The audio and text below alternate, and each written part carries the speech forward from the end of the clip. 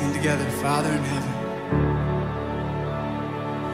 Father in heaven, holy is your name. Your kingdom come, your will be done on earth as it is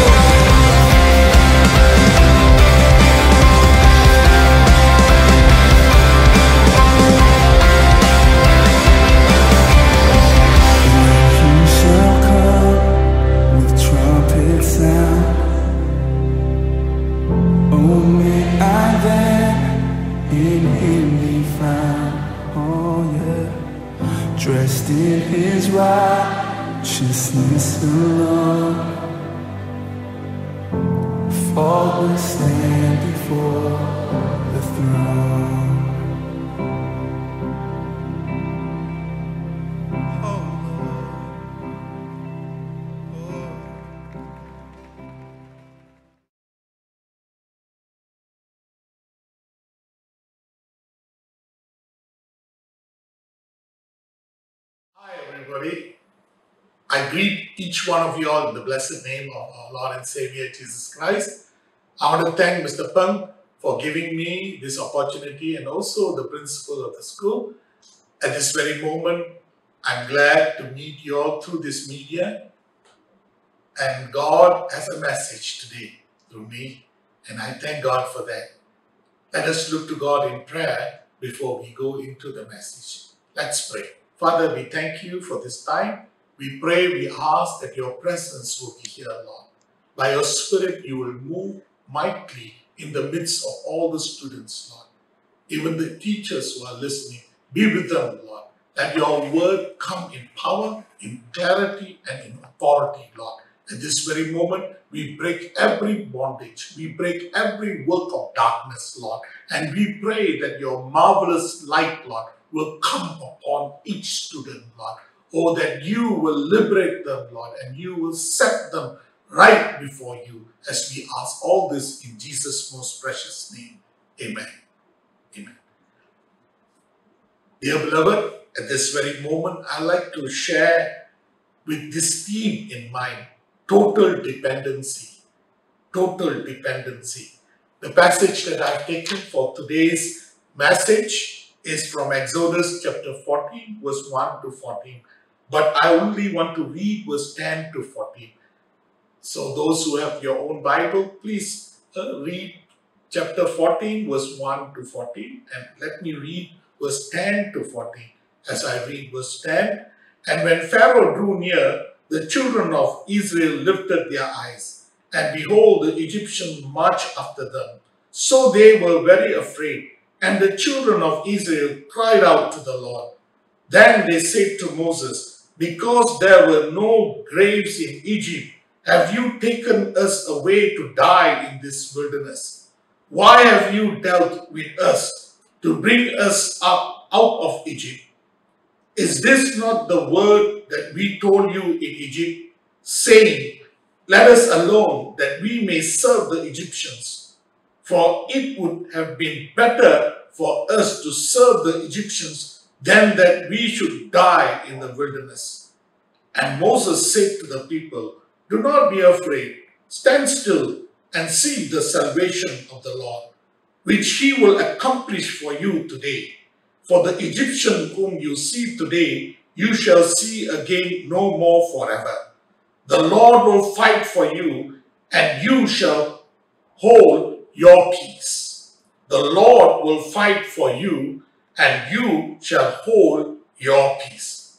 Here in Exodus chapter 14, we read about Pharaoh and his chariots and horsemen coming after the children of Israel. They are in Pi Hahiroth between Migdol and the sea, opposite of Baal Zephon. By being in such a position, the children of Israel has entrapped themselves and they have no place to run. Yes, church. They have gone into a place and God has asked them to camp in a place where they are entrapped. At one side is the mountain, on the other side is the sea, and before them is Pharaoh and the chariots and the horsemen. Pharaoh was very happy because he thought, we have cornered the Israelite. Where they are, they can never run from. So he was very happy because Israel is in a fix now. They don't know what to do. Many times in our life, we too are in such a position. We are at the age where we don't know where to turn to. The people were in fear and cried out to God, and then they came to the man of God, Moses, and they said, Because there were no graves in Egypt, have you taken us away to die in the wilderness? Why have you so dealt with us to bring us up out of Egypt? Is this not the word that we told you in Egypt, saying, Let us alone, that we may serve the Egyptians? For it would have been better for us to serve the Egyptians than that we should die in the wilderness. What was Moses' reply to them when they said this? And Moses said to the people, Do not be afraid. Stand still and see the salvation of the Lord, which he has accomplished for you today. For the Egyptian whom you see today, you shall see again no more forever. The Lord will fight for you, and the Lord shall hold your peace. By saying these words, Moses declared in the midst of the children of Israel that his total dependence is upon God. Yes, his total dependence is upon God. When you have total dependence upon God, you will number one, my point is have no fear but faith. You will have no fear but faith. Moses told them, Do not be afraid, stand still and see the salvation of the Lord. Do you know, fear paralyzed every movement and every thought that is in our lives. We cannot think of ourselves and we don't know what to do next. Yes, most time, you know, when fear grips us, we tell ourselves, what must I do? What, how, how am I to do it? You know, these are the aspirations that we have. By being fearful, we resign to a place where we say it is impossible to escape. That's what the children of Israel say. You know, they went to Moses and they said, Why? Now, where are we to run to? We cannot escape anywhere. And that is the results of fear in us. Bible says, what is impossible for man are possible for God. We read in Luke chapter 1 verse 37, for with God nothing will be impossible. Yes, with man is impossible. But with God, there's nothing that is impossible. So you and I must learn to trust God. Here, we need to realize with God, nothing is too hard. In Genesis chapter 18, verse 14, we read, Is anything too hard for the Lord? At the appointed time, I will return to you according to the time of life, and Sarah shall have a son. According to the time of life, and Sarah shall have a son. We all know Abraham was 100 years old and Sarah was 90 years old when Isaac was born. But God said this when I, Abraham was 90 years old and Sarah was 80 years old. Is there anything too hard for God? Yes. Looking at Abraham's age, 90, and Sarah's age, 80, she is beyond childbearing. Indeed, it's a situation where we only can view impossibility. But here God says, Is there anything too hard for God? Nothing is too hard for God. All things are possible with God. The only thing that we need to do is to trust Him. My second point you will see God's act. When you have total dependence upon God, you will see God's act. Moses told them that they will see the salvation of the Lord, which he will accomplish for them today. Which he will accomplish for them today. Yes, God says he will indeed make a way for them.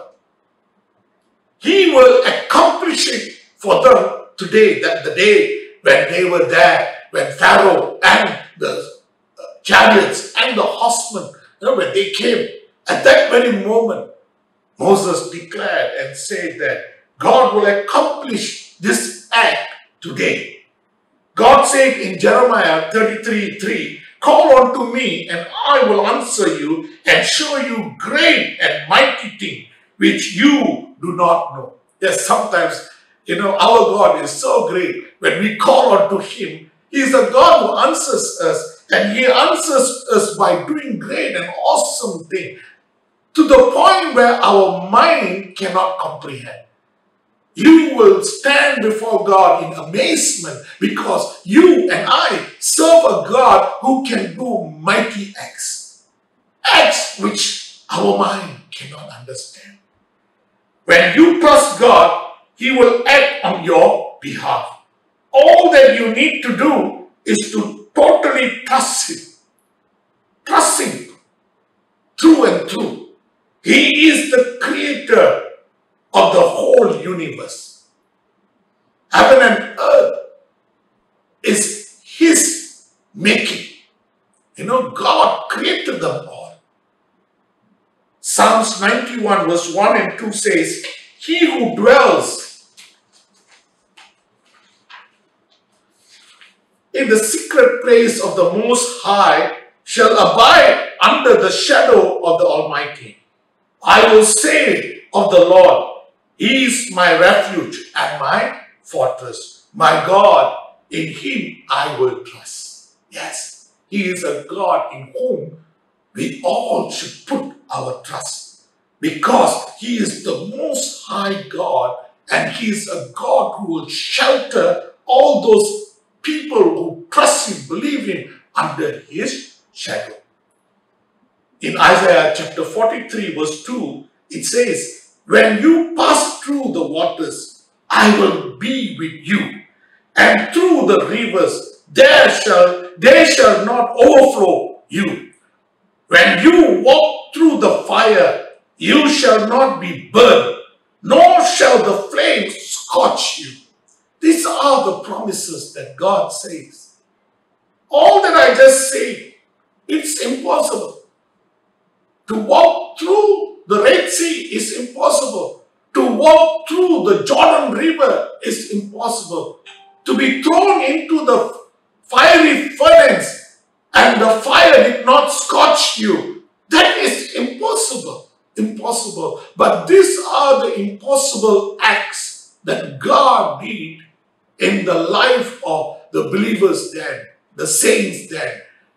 And the Bible says He is an unchanging God. Yesterday, today, forevermore, He is an unchanging God. What He did then, He is able to do today. If you have a total dependence upon the Lord, you will see His mighty act. And my third point is when you depend upon the Lord, you will no more see your trouble. You will no more see your trouble. Moses said, For the Egyptian whom you see today, you shall see again no more forever. I read again. For the Egyptians whom you see today, you shall see again no more forever. When your total dependence is in God, He is a God who relieve you of all your trouble. Of all your trouble. Students, you can believe that. You trust God. He's a God who is for you, not against you. He loves you. He cares for you. And when you entrust everything before Him, you will no more see your trouble because He will relieve you of all it. When you are under His shelter, no harm will befall you. He is like a mother hen who protects her chick under her wing. Psalms 91 verse 4 to 10 tells us this. He shall cover you with his feathers, and under his wing you shall take refuge. His truth shall be your shield and buckler. You shall not be afraid of the terror by night, nor the arrow that flies by day, nor of the pestilence that walk in darkness, nor of the destruction that lays waste at noonday. A thousand may fall at your side, and ten thousand at your right hand, but it shall not come near you. Only with your eyes shall you look and see the reward of the wicked, because you have made the Lord, who is my refuge, even the Most High, your dwelling place. No evil shall befall you, nor shall any plague come near your dwelling. This is the promise of God. And God says, nothing, no harm, no danger that will come, uh, that will indeed bring trouble into your life. And my fourth point, when you totally depend upon the Lord, you will see the battle is God.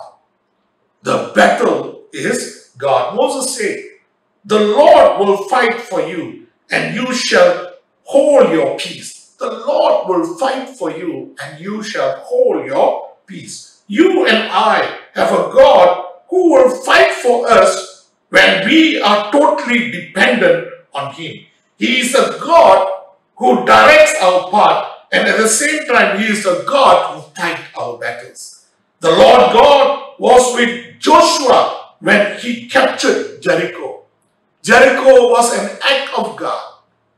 Jericho was a battle that God gave to the people of Israelite. They worshiped God, they shouted with a loud voice, and the fort of Jericho tumbled down. It was God who made the fall, the fall of the fort. God gave them the victory. The Lord was with King Josephat when he faced his enemy. The four kingdoms came against King Josephat. But then God fought the battle. When the wor- worshippers, they worshiped God and when the trumpet sound was raised up, the enemies, they fought each other and they killed each other. Because God told King Josephat, the battle is mine. Be still. The battle is mine. When Shadrach, Meshach, Abednego, when they were thrown into the fiery furnace, God was there as the fourth person in the fiery furnace. The king was amazed. The king was wondering, we threw three people into the fiery furnace. Who is the fourth person? And that was God. That was our Jesus. Yes, He is a God who fights our battle. He is a God who stands with us in our battle. All that we need to do is to trust Him, believe Him. With this, I'd like to end my message. Praise be to God. Let's pray. Father, thank you. Thank you for this message that you have given. As we totally surrender ourselves, as we totally depend on you, you're a God, Lord, who is with us, for us, and you're a God, Lord, who will act on our behalf, Lord. All that we need to have is faith, Lord, not fear. The people of Israelites, they had great fear when they saw Pharaoh, the chariots, and the horsemen, Lord. But Moses looked at them and said, Have faith, have faith. Yes, you're a God, Lord, who delights in the faith of your children, Lord. Without faith, we cannot please you. But today, we pray, Lord, that these students, Lord, will have that faith in you, Lord, so that you will work everything in their life, Lord. Whatever trouble, whatever hardship, difficulty that they are going through, they will know for sure if God is for me, who can be against me? My God is a God who will shelter me from all works of darkness, from all works of the evil one. The devil cannot touch me, cannot cause any harm to me because my God is my shelter. For he fights my battle. Thank you, Lord. Thank you. We ask all this in Jesus' most precious name. Amen.